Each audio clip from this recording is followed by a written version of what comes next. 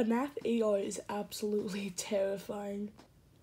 Hey, what's up guys, uh, CB here, I just want to give a quick video of all my thoughts of FNAF AR.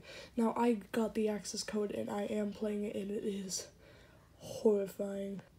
Having the animatronics actually at your house is horrifying and I literally sat cowering in a corner, literally saying out loud, come through the door. I know you can hear me, so come through the door. It was, it was, oh, it had, my family probably thought it was crazy. But yeah, if you got an email similar to this, then you probably have the code. I was checking my email all day, and as soon as I got it, I started freaking out. I love FNAF, and the fact that I was able to get an early access was amazing. So thank you, Scott. You're probably not watching this video, but Illuminix, the pe people that make the game, thank you.